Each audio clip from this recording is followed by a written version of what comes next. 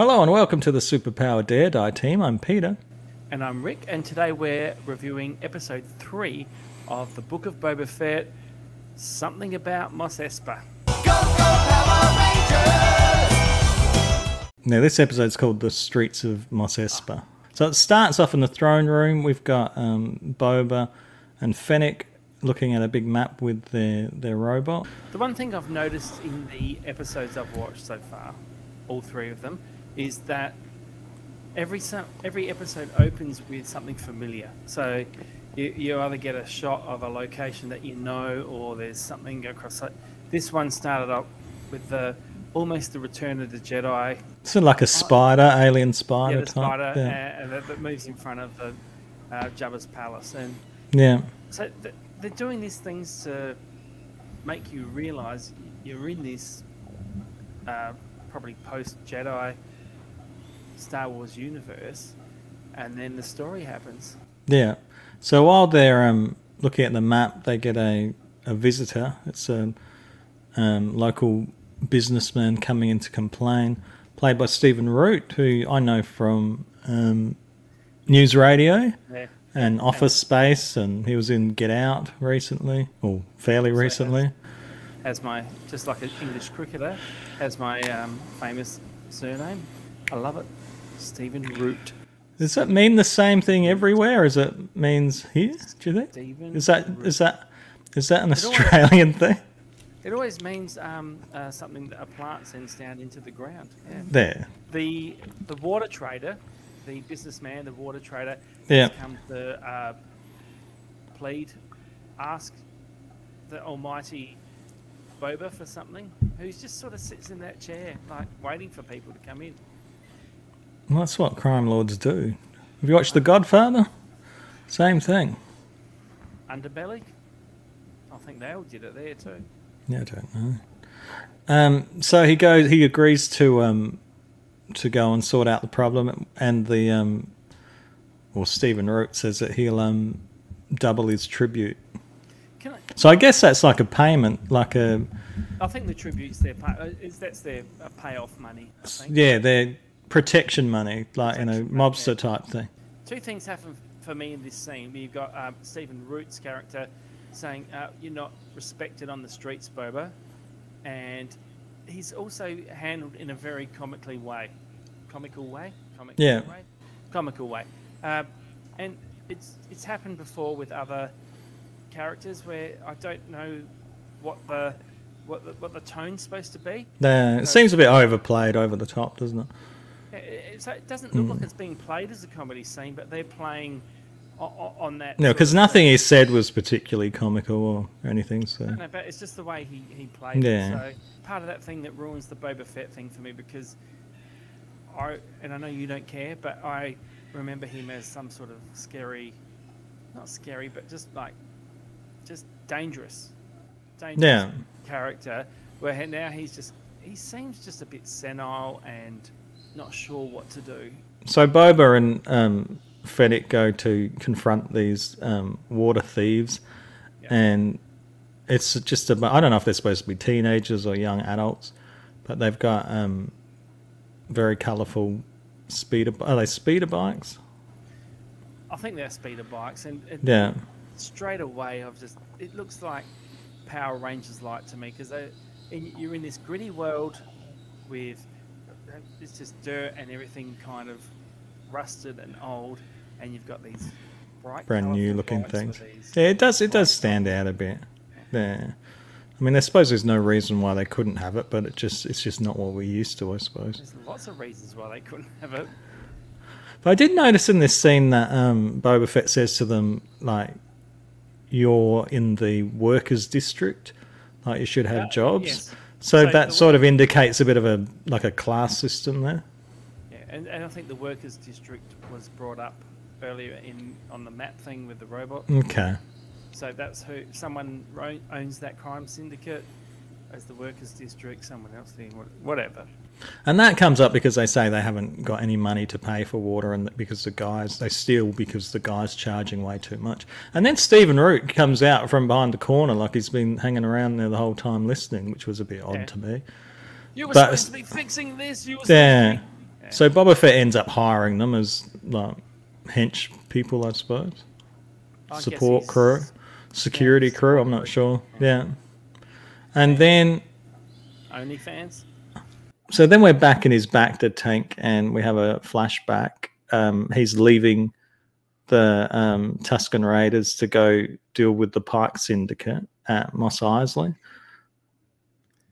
This is this is a big problem of the episode for me because it just seems to be okay. I'm slowly leaving one location to do to go to another location, and then I'm just going to be given new information that makes me turn around and go back to another location slowly, and nothing seems to happen except filler or maybe some characters that I don't know that other people might like kind of being able to be placed in the background. Yeah.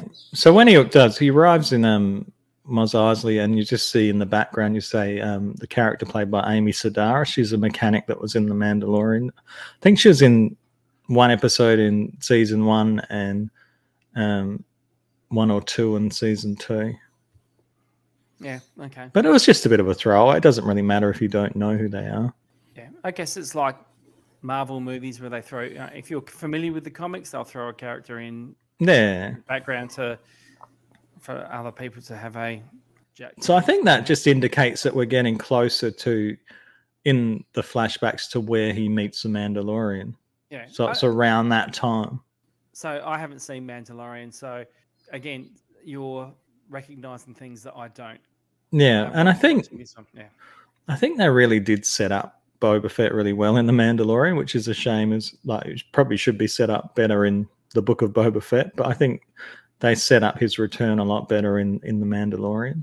Okay, so this is this is episode three of a six or seven episode series, and it, if I was the director, this is not the episode I would put in episode three because you've got a short time to work with. This feels like an filler episode where you've just got people walking here, finding information, walking, going back, walking there, finding information. It's just a lot of exposition about maybe where it's going. Um, I would have kept this one as a fast pace. Like after last week's Tuscan Raider, that's the slow um, uh, Lone Rider. What did we say? Like that? That? that Like the Clint Eastwood man with no name. yeah, yeah. Um, man with no name comes in. So, so it was all based on that. So then you bring it back to the present, have a kind of fast-paced episode with a really big cliffhanger, then have your filler episode with maybe a little bit more. Okay, this is why you're experiencing these things. He was kind of like a co-star in his own show in this episode in some ways, particularly towards the end. Yeah, so he goes to see the Pike Syndicate, and the Pike Syndicate said that they don't want to pay two lots of people. It turns out that they've made a deal with those raiders that we've seen in previous episodes, and then he goes back and finds that his um, Tuscan friends have been murdered by that same group. The two bits of I, I- guess the two bits of story writing that move the story forward are him coming back to see that his uh, village, his uh, Tuscan Raider village, has been wiped out, and he meets up with the Power Rangers light. I think that's There's another probably plot element at the end as oh yeah, well. yeah, towards the end, yep. Yeah, but um, did you think that there was enough of the Tuscan Raiders there? It didn't look like there was. It couldn't have been the whole group, surely. It, Like it didn't seem no, like. it looked it looked a little barren. So I think maybe we we might see some survivors later, perhaps. Yeah, uh, it, it could be a setup. It could be you know, uh, just a little. Uh, we'll throw that little nugget out there. Because see- the the warrior that that trained him, who I've, him, who I've yeah. read this week, was is actually a, a female character, which I didn't pick that, up. yeah. There. Um, Um, so she wasn't there. So perhaps And she'll turn up later. Yeah, little kid I didn't see either. little So kid wasn't there either. So perhaps they'll turn up like later. And then uh, Boba's abruptly woken up in his Bacta tank by the Wookiee that we saw last episode, whose name is Krrsantan. I think that's how you say it. Kur so. Santan. yeah, And so we have- We have a big a big fight, and he's pretty formidable foe. Mm. Um, Boba Fett looks a bit like a baby with his little white nappy on and bald and covered in water. I thought I thought he's you know he's helped out by his new recruits, but I thought everybody took a bit too long to get to him. Like, are, are they guarding him, is, or is Krrsantan just a really good assassin and can sneak into places without being detected? I don't know what it was. I'm going to go with uh, the Power Rangers were just sort of not hadn't quite suited up yet. Uh, anyway, they were quite ineffective against. Like they sort of went stab, zap, something like that. Kind of They showed. shot him a few times. He's a tough guy. Yeah, but it's, That it was Wookiee? like being- it looked like it was being shot with an air gun or something like that. I don't know. It's Yeah. they, Well, they got a few blows. Then he the Gamorrean, yeah, and then the Gamorrean guards come up and he just tackles them down the stairs and they um, somehow maneuver him over the trapdoor of the Rancor pit and Fennec like turns up eventually. So Fennec, the one who's supposed to be his right hand person, um, goes, "All right, now I'll turn up and I'll just drop it."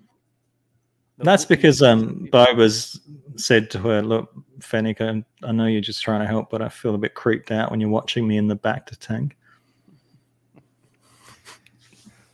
So that's done. A, a kind of okay-ish fight scene. Yeah, people are there for him. Uh, he comes out after being beaten up. he comes out in his in his um, to pay the mayor a visit now. yeah, but he comes out in his lovely dressing gown, doesn't he? in Like yeah. he is a bit of an old man, isn't he? So old man Boba. Maybe if they called it old man Boba, you'd like it better, would- like old man Logan. Yeah. Well, maybe that's how you need to think of it as old man, like an old man Logan. It's old man Boba. Okay, I will do that from now on. But yeah, so then he um, has visitors at the door, and it's the twins, the two Hutt twins, and they've come to apologize about sending an assassin to kill them, which is a pretty quick turnaround. Given that they don't know if he's alive or dead, we don't know if the assassin did the job or not. But they um they say that they were deceived and that there's someone else going for Jabba's title, Yep, and that they're getting off the planet because they don't want to be involved in a war. yep. And they give him a gift. They give him a gift, which is Danny Trejo. Danny Trejo in gladiator wear. Yep. and and his little pet baby. It's a baby Rancor. oh no, the Rancor. That was me doing my best C3PO. Oh no, the Rancor. And I'm I thought, wh- why would they bring that? But I'm guessing that they thought that they were going to be taken over Jabba's palace, so maybe they acquired a Rancor so they could have one in that Rancor pit. Yep. Now they're going; they don't need one, so they'll think, oh, we'll just give it to him. They've used the Rancor pit twice now, so they next time they use it, there needs to be something in there. So it's, I think, it's a little paint by the numbers. So then Boba gets the Wookiee brought out, uh, Krrsantan, and offers him back to the Hutts. The Hutts Yeah. don't want him because they're leaving. They they were just using him for while they're on the planet, and so In they go. Yeah, in that little uh, assassination attempt that Yeah, doesn't sense in the end. Uh, yep. But then like uh, Boba lets him go, um, and so I think he'll be back. I think he'll he'll come back and work with Boba later. As, as best as a Wookiee can look surprised, I think he looked surprised that he was Yeah. going to go, run off, and then I think he might come back a la Han Solo in Star Wars, that original movie, uh, last minute. Um, all Maybe. kid. Yeah. Then we have a scene in the Rancor pit with um, the Rancor keeper, Danny Trejo, who is a big favorite of the director, Robert Rodriguez, who's been in lots of his movies. He does taco commercials in Australia. Oh, and he's um, got his own little franchise, of Machete movies. That's Robert Rodriguez as well. Yep. And so we have a bit of a bonding time with the Rancor, and we learn that Rancors are quite emotional creatures that get attached to their owners. And at first I thought, what? This is a bit on the nose. And then I just remembered the um, the Rancor keeper in, in Jedi who was bawling his eyes out when his pet died, which was played for a joke. But Which yeah, absolutely was played. I can see that connection now. I can sort of um, accept was- that. I understand that what they were doing. So it was played for a joke in Jedi, and they're trying now to explain the creature further. But when they talked about the first person it sees, it uh, bonds to something like that, and I was just taken back to the Twilight books. It was just going, what are we ripping off now? This is terrible. So the robot comes down saying that the mayor's not uh, available for the next 28 days or something like that. 20, 28 Yeah, that's days. right. And he goes, Well, I'm going to go. I'm going to go and meet with him now. Uh, and it turns out there's the whole big ruse. The mayor's not even there. Like there's No. a whole kind of delaying scene. You can't come in. He's he's too busy. Maybe I can reschedule something. Turns out the mayor's already gone. There- And his there's- assistant, You're talking about a bit over the top performances before, and I find the the guy that's playing the assistant is a bit over the top. There. And then then there's the speeder chase scene where he's Well, I, the, like he does a bit of a Fargo, doesn't he? He's just like in Fargo. Well, he's going. I'll just check those. I'll just check those number plates now, and then you see him driving off in the background. It was a bit like that. Like they going. He goes. I'll just check the mayor now, and he goes in and, then, yeah, and like driving off. Rangers, yeah. yeah. And that's the scene was okay with the car chase. I wasn't sure if it felt Star Warsy, but it was it was okay. And there was lots of droids.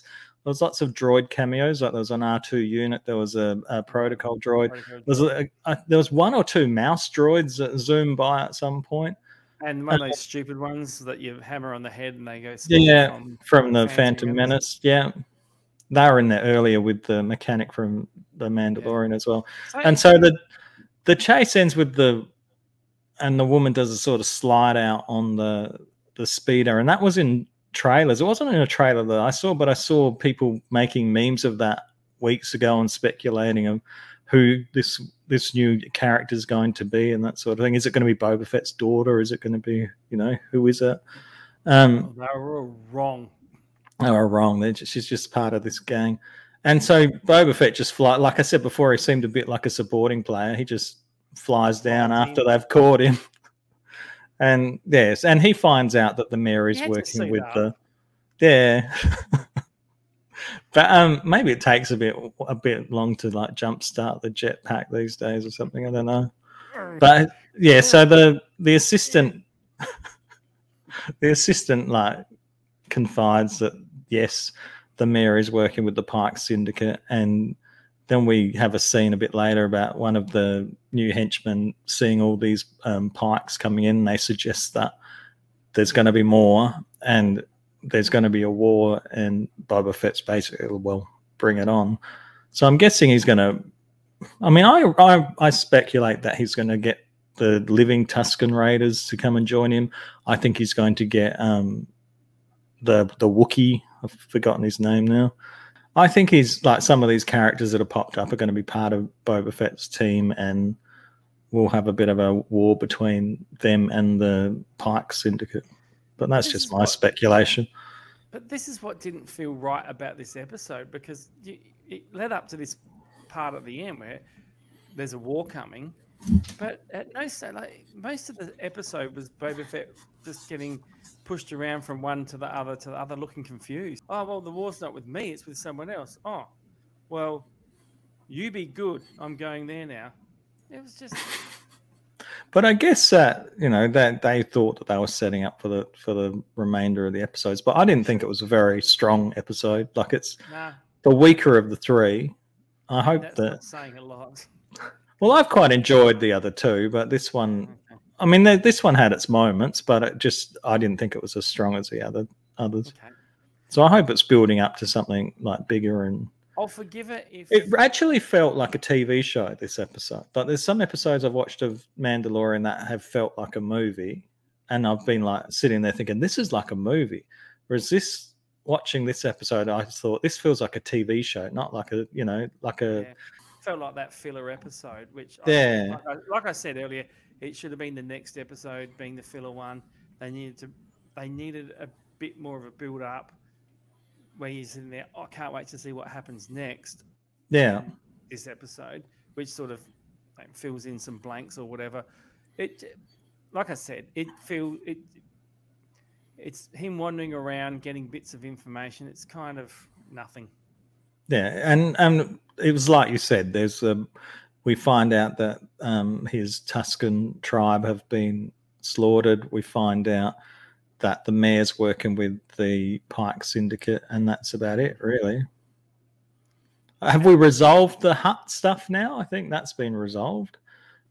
I know. I think I don't understand where a war's coming because it's never felt like this is Boba against the universe or anything like that. I think it's like- all the Pike Syndicate coming in because they said how many were there? There's twelve, and there'll be more where that comes from. But, So I but think is the, but is the war for his Dianara? What the, what the, I think so because the the But this is my the- point. Like the Hutt said that there was a that the mayor had offered uh, someone else his position or but- promised or something. Yeah, but this is what I don't get. Like it's, it's the war's coming, but there's no, there's been no real. Boba Fett hasn't been threatening. He hasn't been going around kicking ass, No. and and he's just kind of been the benevolent. I'm walking around and getting told where to go next. I mean, he did take the position by force and just assume that everyone would be okay with it, I suppose. So, thank you for watching our video. If you enjoyed it, please have a look at our other videos and like and subscribe to our channel. You can follow us on our Facebook page, we're on Twitter, we're on Instagram, and you can find us there. Yep. All right. Thanks for watching, everyone. It's been a pleasure.